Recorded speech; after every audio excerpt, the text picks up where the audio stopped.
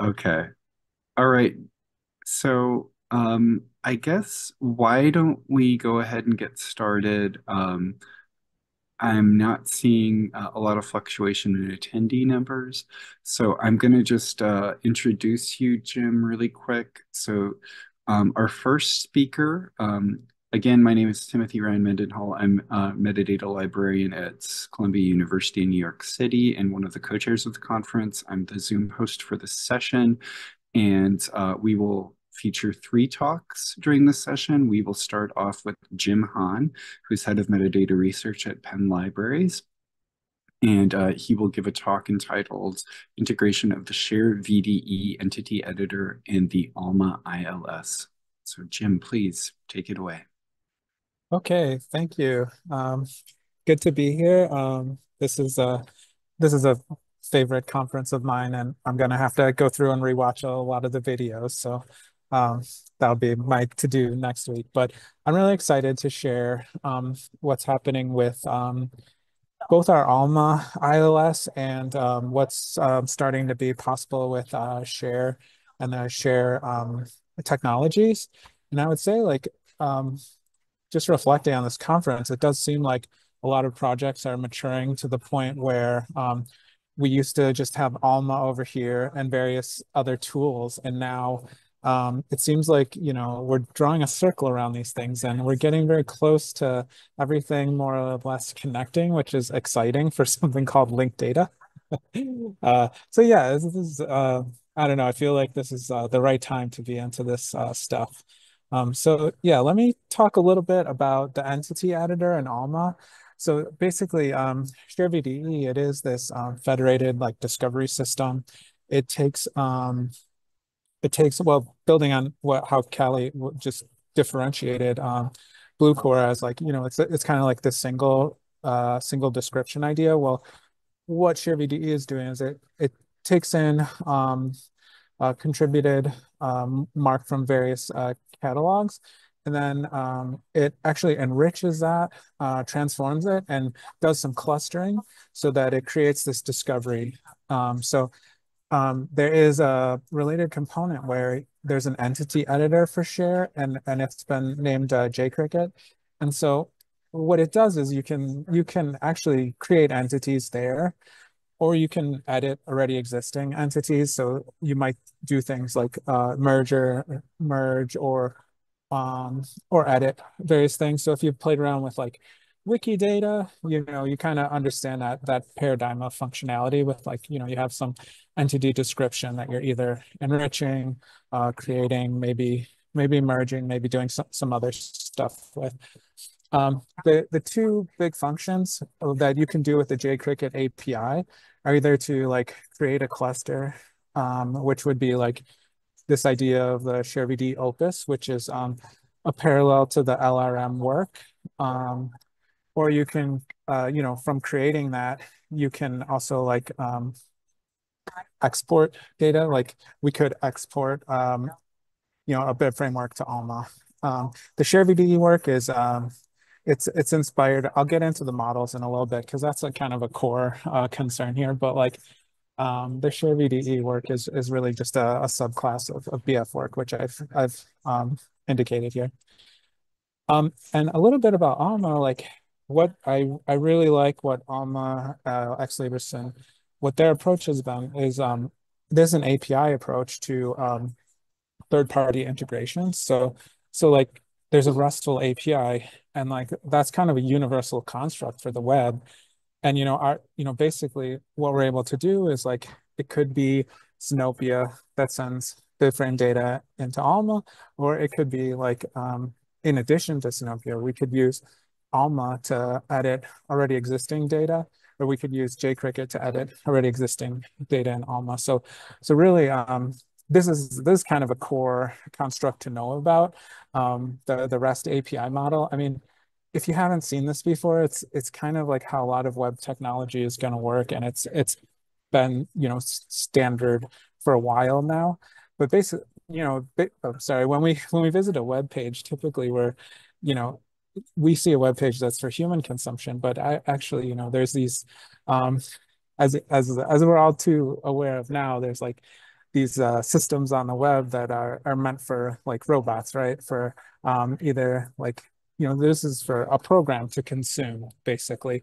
So you have um, some some client. I'll I'll just maybe to to illustrate this a little more concretely is like you know we might have um, our client um, being like an, an editor, like a linked data editor. So you can think of JCricket or Sinopia and using um, Alma's API, we can like um, uh, send in um, BibFrame data and like there'll be some response and um, there's like uh, you know various uh, various patterns that that could be used and um, this is this is really um, sort of a common web technology that this kind of integration is is built on.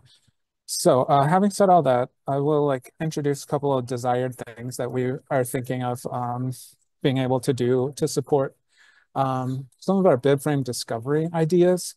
Um, and I can talk more about those, but I will want to just focus on these flows for a second. Um, so using like our JCricket editor, maybe what we'll do is like add a BibFrame work to the Alma system. So in that way, it's it could function similarly to Sinopia, but also um, if you think of like the LRM work, um, you know, a cataloger can take like an existing BF work and kind of put it into this work cluster, or you know, you could create that cluster. Um, um, you know, if, if a hub exists, like BibFrame hubs are, are like another thing. So you could think of these as very similar, um, because that's that's uh, well, you know, you take different paths to get the opus from ShareVDE, which is like the LRM work.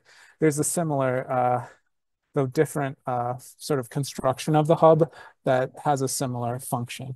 And then, you know, what we want to do is have these appear in like our share VDE discovery. So everything that's in Alma is, um, you know, we can we can um, make that available in linked data discovery, basically. Um, so I do, I, I, I think it's important to know like that what what is the ShareVDE um, and I will say ontology, but I don't I don't mean anything very um, uh, academic about that. Well, all I mean to say is that there is like um, this um, way of like uh, our entities are organized in a way such that they build off uh, BibFrame. So ShareVDE is implementing BibFrame, and then because of its discovery concerns, it has some extra things like this ShareVDE Opus, um, and um, and also like just subclassing its its work because it's using this has expression relationship, and um, there's more more detail on it at this um, um, on this document here. Um, I'll drop this in the chat after I'm done here. But yeah, basically, um, one really fortuitous thing that I see occurring is the ALMA system has a very close adherence to the BibFrame structure from Library of Congress, and that's by design. That's like a design choice, which is an excellent, an excellent design choice. And I feel like because ShareVDE at the base of the model is BibFrame, with these uh, you know extensions for discovery purposes, they're they're really close um, right now to to interoperating uh, actually. So when we um, go ahead and do this like exporting RDF to Alma, really what we need is here is like some middleware that does some business logic, acts as a normalization layer.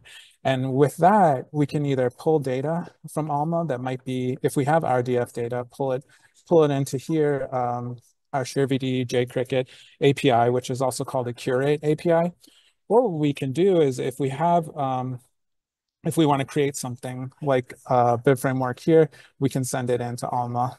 Um, so those are those are two ways that this could work together, and then thus supporting sort of like um, improved discovery. Um, I mentioned this a little bit, but this is what's in the um, in this uh, repository is that, you know, we view the ShareVDE Opus as being a parallel class to the IFLA LRM work and, um, you know, consequently RDA work, but, um, you know, basically the set of the set of attributes that would make up the ShareVDE Opus, those are paralleling what you'd find in the LRM work. Um, and so a work in the ShareVDE system is like, it's at this abstraction that serves to collect uh, BF works.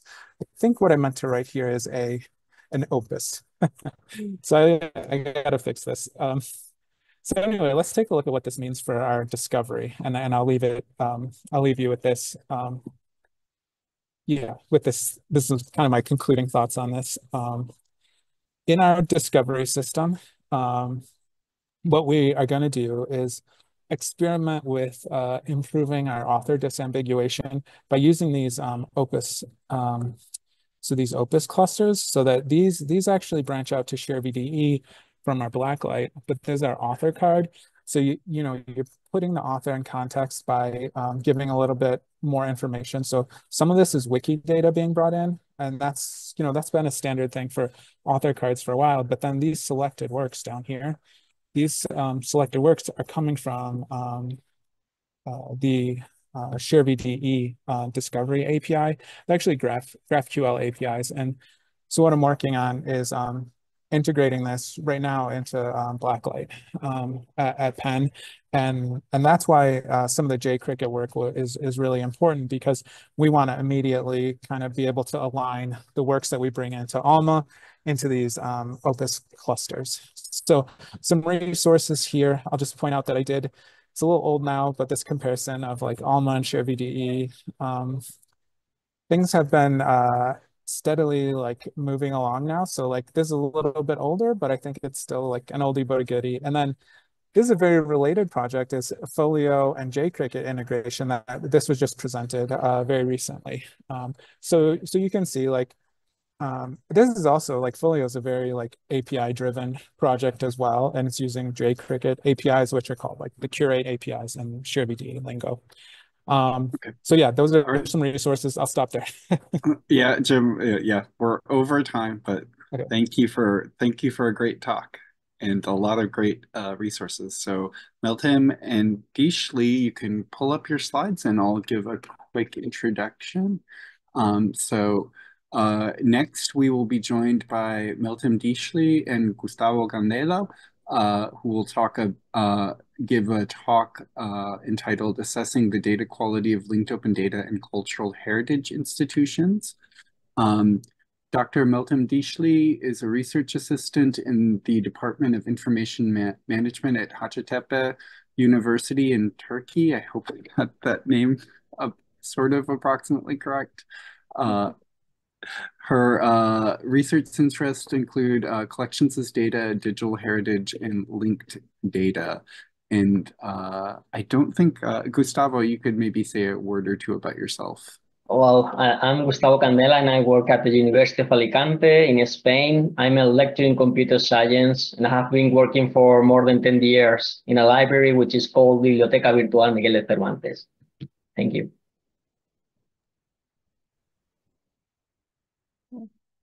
Thank you for the introduction and uh, thank you very much for accepting our proposal.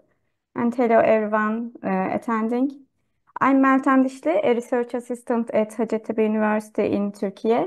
Uh, today I'm going to talk about the important topic that uh, I worked on with Gustavo Candela, uh, assessing data quality of linked open data in cultural heritage institutions. Please feel free to reach out to us uh, if you would like to learn more about this topic. Uh, in this presentation, uh, first I will introduce this work, followed by an overview of uh, various methods used to assess quality in linked open data. Next, I will present our reproducible framework uh, along with the assessment results from our latest experiments and the conclusions. A list of references is also provided for those interested in exploring the topic further. Uh, this work is inspired by two key concepts. Uh, the first one is the lab concept in GLAM institutions, which encourages the publication of digital collections to promote their reuse in innovative and creative ways. And the second one is the collections as data concept, which supports the publication of digital collections designed for computational use. Uh, high quality data have become essential in today's context, driven by AI and natural language um, processing. Therefore, it's crucial to assess data quality to ensure accuracy, uh, consistency, reliability, and reusability. Our approach aims to offer a reproducible and automated method for assessing the quality of linked open data repositories. Uh, many institutions have explored the benefits of using the semantic web to publish their catalogs as linked open data. Uh, notable examples include the National Libraries of Scotland, uh, the Netherlands, France, Luxembourg, Germany, and Spain, as well as the British Library and Library of Congress, and other institutions you can see in this slide. And previous works have addressed the assessment of linked open data using various methods and approaches.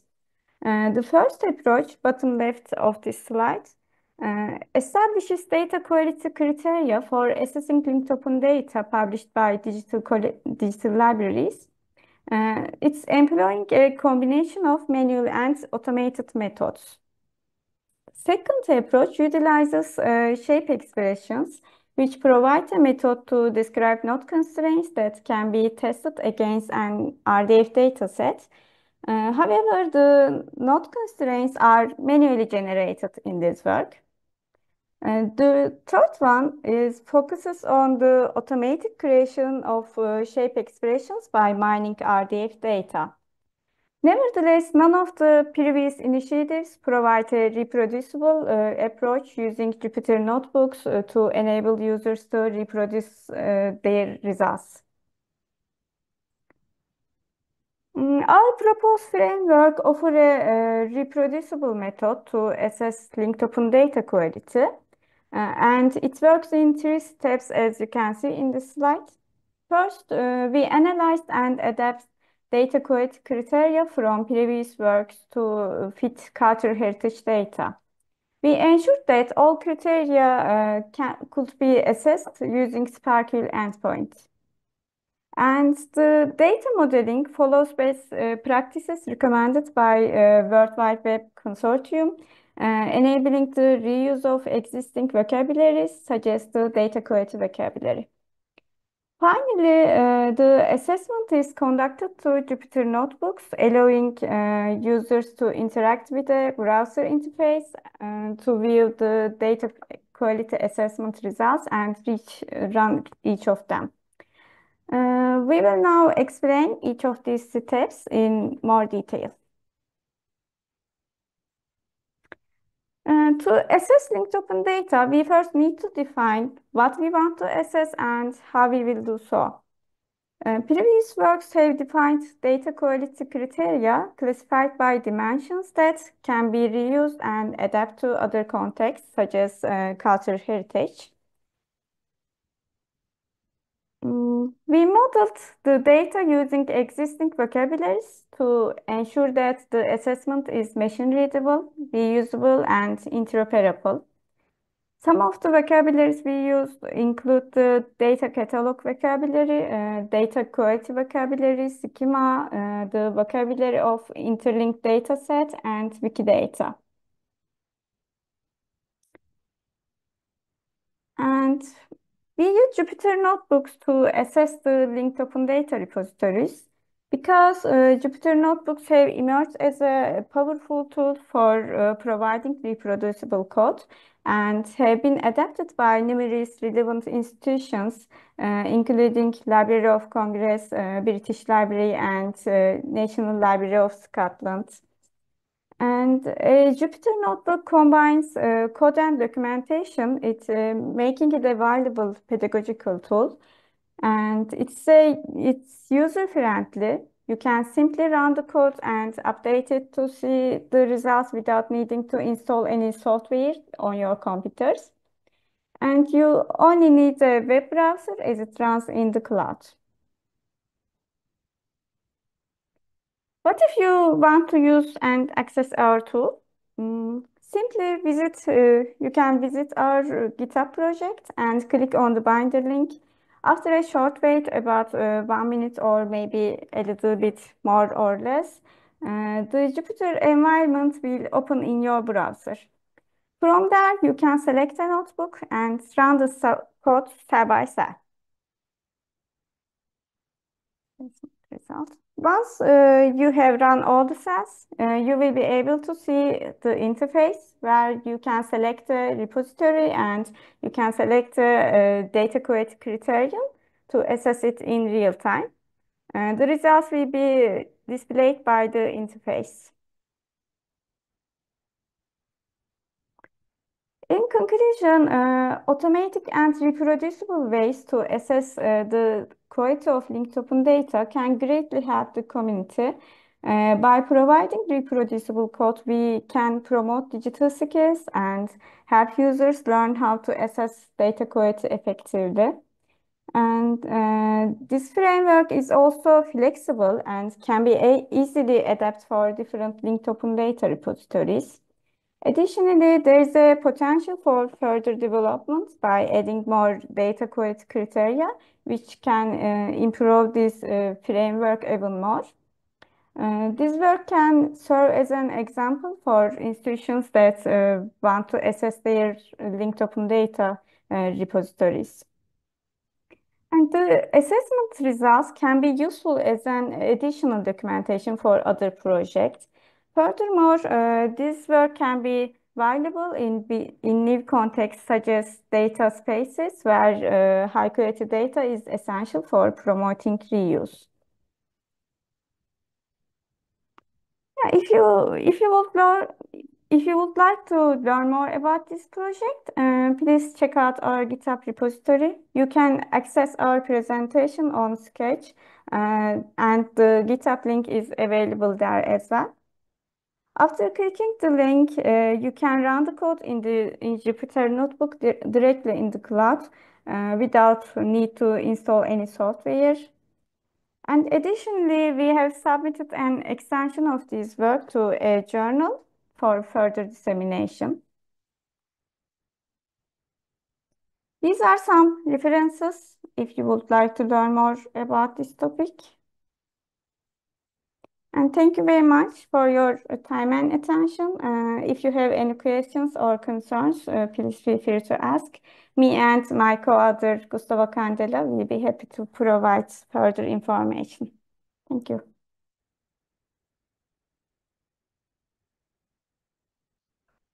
Thank you so much, Meltem and Gustavo. Uh, another fascinating talk. And uh, as we noted earlier in the chat, we are going to do Q&A at the end, but feel free to use the Zoom chats, Q&A, or the Slack um, channel for asking questions um, during the talks, and then we'll bring them all to discussion at the end. Um, our final lightning talk of the conference uh, will be uh, entitled Technology Adoption of Linked Data in Libraries, a Case Study in Taiwan, and will be presented by Huiyu Chung. Uh, my apologies uh, if I'm uh, for the pronunciation uh, errors I probably had in your name, uh, who's a doctoral researcher at the University of North Texas. Uh, Huiyu, yes. would you please turn on your video and share your slides? Sure. Um,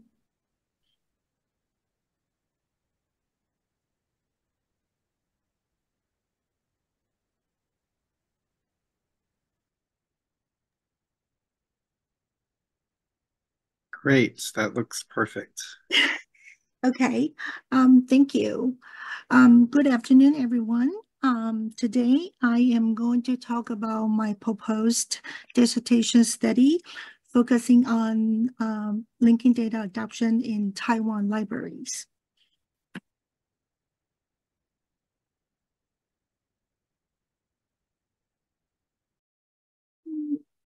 How do I do the next page? Um, linking data is believed to be the necessary next step to make library resources uh, more accessible and more visible on the web. On the web. Um, the application of linking data in libraries is not a new idea. However, the level of full adoption of linking data in libraries is still very low. Um, according to the OCLC um, 2018 International Linking Data uh, adoption survey, only 75% of the 104 um, projects has um, linking data adoptions um, in production. So the majority of linking data initiative occurs in um, North American and in Europe. Um, the research on library use of linking data in Asia is very limited, particularly in Taiwan. There are very few um, studies focusing on linking data adoption. Therefore, um, my study is conducted to explore the current state of linking data adoption in Taiwan academic libraries. The purpose is to um, understand library professionals' perception and um, attitude toward linking data adoption. And uh, by having um, the UT-AUT model as a framework, um, this study also uh, tried to identify what factors they might influence um, library professionals' um, intention to adopt uh, linking data and its technology. So this study um, is guided by um, um, four research questions. The first one is to what um, extent that library in Taiwan, academic library in Taiwan would um, adopt linking data in their library operation. Um, what art the perception and attitude of um, library professionals toward uh, linking data and its um, technologies. Um, also, um, what factors that would influence their intention to use linking data. Um, and also I want to um, investigate to what extent those factors would influence their intention to adopt linking data. so um, the application of linking data in um, Taiwan libraries and or um, cultural uh, institutions has been discussed in several studies. Um, most of the studies focus on uh, linking data adoptions in museums and um, cultural uh, institutions, not really in the libraries. Um, so um, Chen and in 2017 to did a use case study of linking data um, in Taiwan Digital Archives Union Catalog. In another study, Chen also um, presented a uh, semantic um, data model to convert uh, archival materials in Taiwan Archive Information System to linking data. Um, there are two um, data conversion studies by um, Chant 2020 and Fu and K in 2021 describing the process of converting uh, MARC record to linking data. Um, however, um, even though um, the last two conversion studies shows uh, very important um, insights of how linking data can improve the visibility um, and, and, and, and, accessibility of library resources um, on the web. Um, um, a study by Ye and Child in 2021 shows that um, only 20% of um, 36 libraries in their studies um, adopted RDA and 78% of libraries um, do not um, adopt RDA.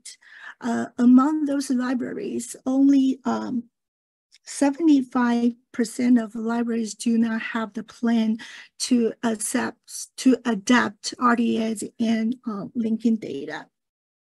So um, in my study, I, I try to uh, investigate um, in addition to the current state of uh, linking data and, uh, for example, RDA adoptions in um, academic library, uh, um, I would like to, I also would like to understand why the reason uh, we have that very low or even to um, very minimum adoptions of linking data in Taiwan. So in my study, um, I use um, purposive sampling to recruit my study participants. My study participants are uh, library professionals in academic libraries where uh, those universities have uh, library and information science uh, programs and also in the library, they have um, cataloging department. Uh, for data collection, um, I would use quantitative and qualitative data collection method to collect data from um, questionnaire. And so for data collected from, for quantitative data collected from um, the questionnaire, uh, those data will be analyzed by SPSS and also for quanti quantitative data, uh, it will be uh, processed and analyzed using the thematic uh, content analysis.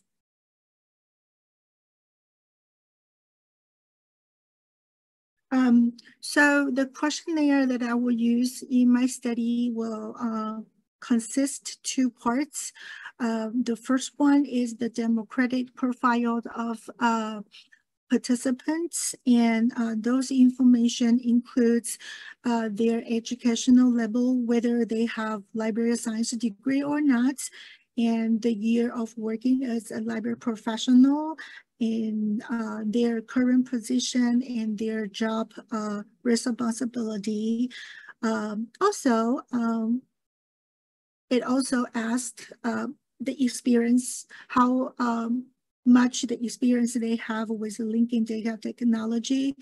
Um, and then if they um, receive any um, trainings of training or uh, educations about linking data. The second part of the questionnaire um, are questions um, designed to, to test uh, the UT AUT construct. Um, so um, the fourth major construct in UT AUT models are performance expectancy, effort expectancy, social influence, and facilitating conditions. Those factors uh, can contribute to their um, uh, attitude and int intention to use uh, linking data. So um, on the um, right-hand side of um, my slides, you will see some of the sample questions from my questionnaire. So um, in conclusion, um, I think my study would have the potential to fill the research gap in linking data uh, studies. It can be used as a theoretical base for future studies. Um, the results, the outcomes of the studies can have the practical values of uh, strategy development for linking data adoption, um, most important that uh, the outcome of the study can have the uh, value uh, for curriculum, curriculum design preparing future library professionals to um, use linking data. Thank you.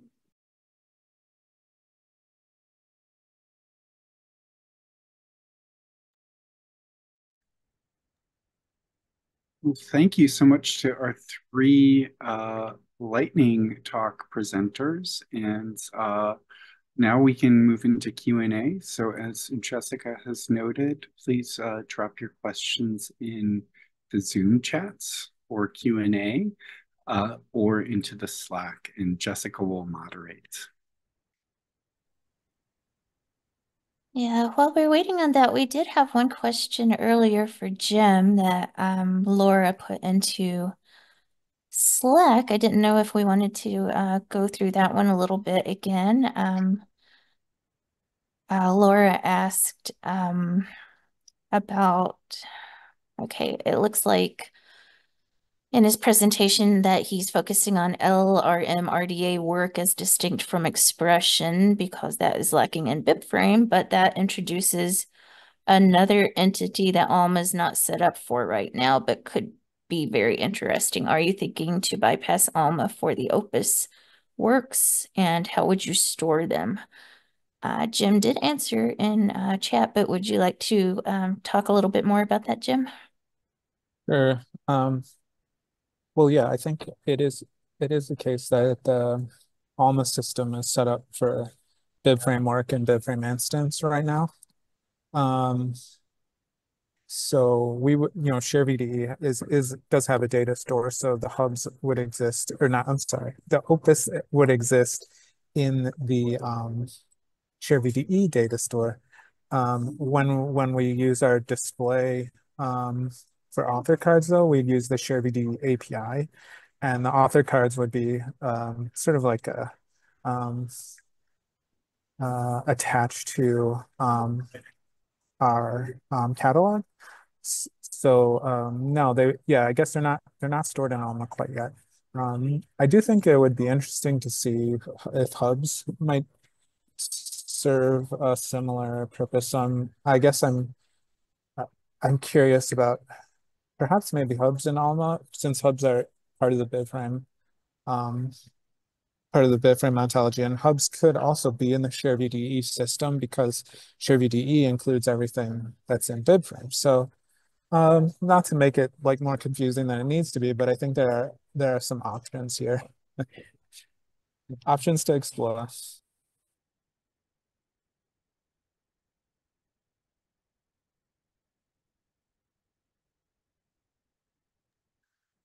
I, I would have a question for Meltem and Gustavo.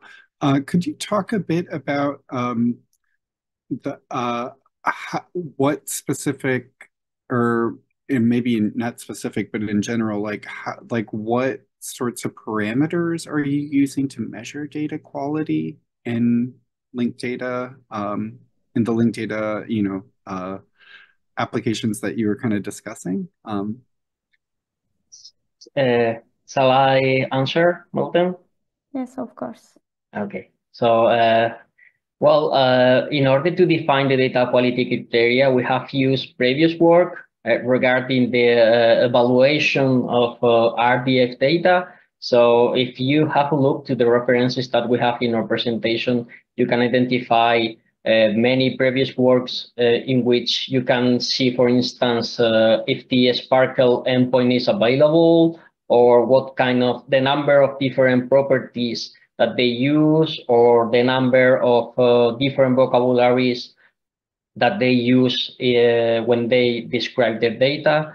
So the idea with this reproducible framework was to try to define a criteria which uh, could be assessed uh, only by using a SPARQL. So it would be everything automatic and not using the manual things. And this is the comparison that we have in our presentation with different approaches to assess link open data. So it's just like, uh, if I'm not wrong, like uh, 15 uh, criteria in which we assess uh, the number of, uh, for instance, properties, uh, vocabularies, if they provide the license using the machine readable property and these kind of things.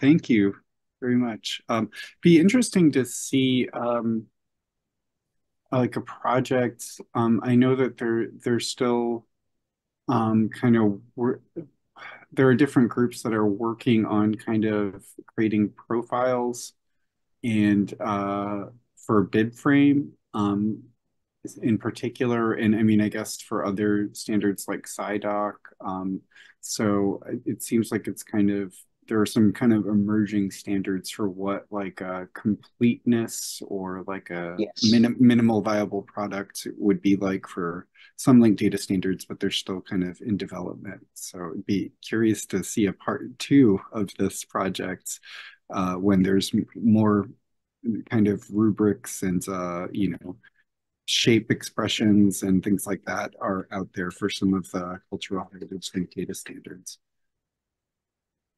Um, okay, do we have any other questions coming in? Don't see any right now.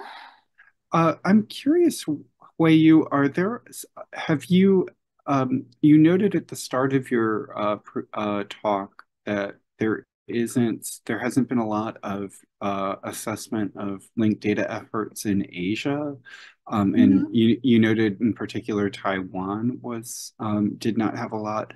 Um, are, could, are you aware though of any type of work along these these lines that you're doing with Taiwan and other parts of Asia? Um, is there like sort of an emerging community of people trying to look at this or anything that you're aware of? Um, actually, I, I did my uh, research in uh, Asia, like Taiwan and China.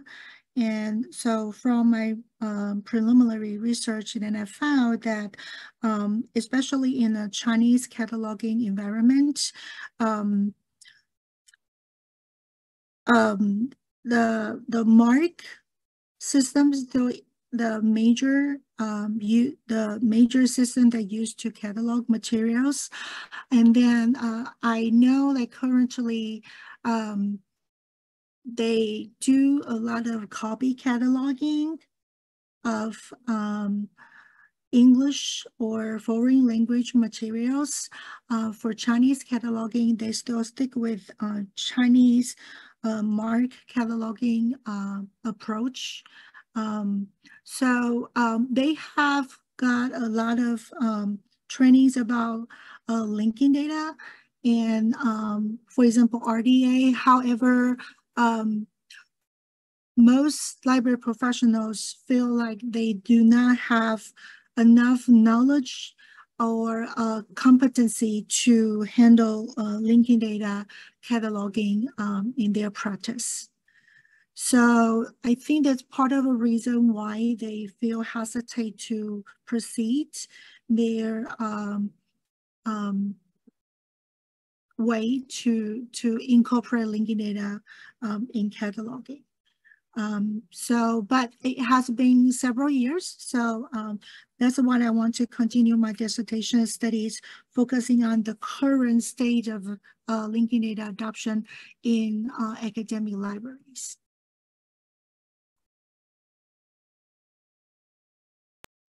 I can't wait to to hear about uh, the results when you complete your study. It'll be interesting to hear more Yeah, about that topic.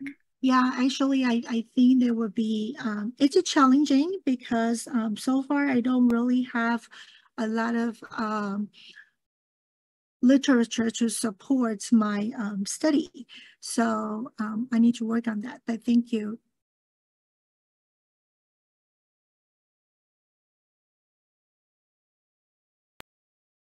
Okay, we have another minute or so here for a few more questions, or you have any for our three presenters, three, four presenters, three presentations.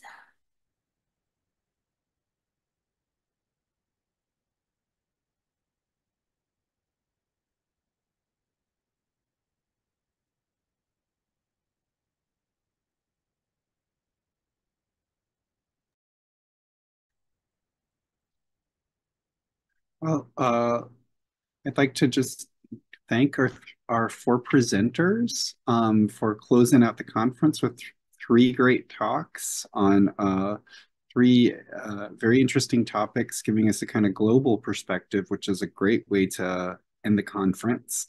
Um, and uh, I'd like to thank Jessica Hayden from Berea College, who has co-moderated, done a great job co-moderating this session, as well as the uh, all of the volunteers um, throughout the conference who have uh, done all kinds of roles. Uh, we're going to talk more uh, in depth about all the volunteers at our closing session, and which will start in just a minute. Um, and I'd like to thank the co-chairs, uh, Jessica Davis and Mohammed Awal Al-Hassan, um, for all of their work in putting together the conference. So stick around here in this Zoom and we'll have just uh, some closing thoughts coming right up.